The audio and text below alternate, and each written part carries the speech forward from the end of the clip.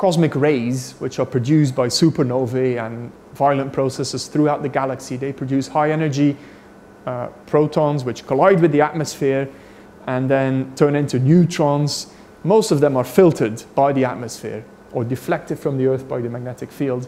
A tiny amount of them reach the surface of the Earth. And they continue to interact with the rocks and soils on the surface of the Earth.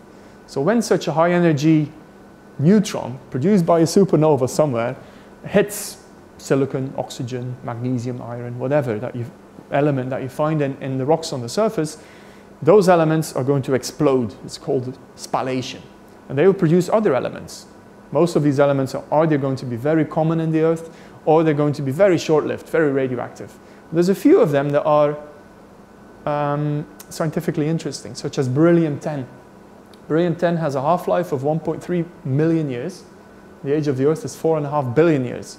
So at first sight, there there's no reason why there should be any beryllium-10 on Earth. The only way that we can explain the existence of beryllium-10 on the Earth is due to these cosmic rays.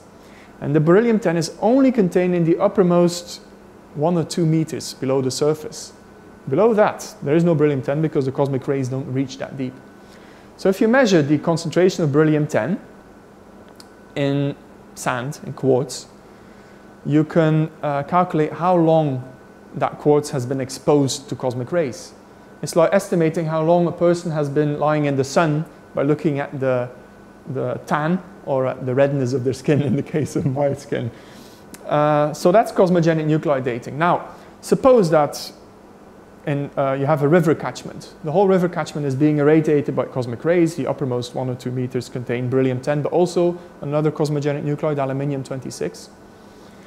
Um, that landscape is eroding. The sand in the rivers draining that landscape will also contain a small amount of beryllium-10, aluminium-26 that's carried down the river and then enters a desert, such as the Namib Sand Sea.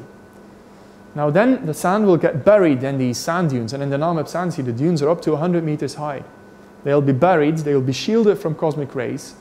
Beryllium-10 production will stop. Radioactive decay of the beryllium-10 will continue. So as the sand moves from the south to the north across the sand sea, beryllium-10, aluminium-26 are going to decrease in concentration. The difference between the cosmogenic nuclide concentration in the north of the Namib Sand Sea and the south tells us how long the sand has been buried in the sand sea. And it turns out, quite surprisingly, that that's at least a million years we know that the Namib Sand Sea has been there for a, a long time because climatically it's very stable, dry conditions there. But we didn't know that the sand itself was that old because there have been sea level changes and there's been glaciations and, and, and all kinds of things happening. The sand has been sitting there for a very long time.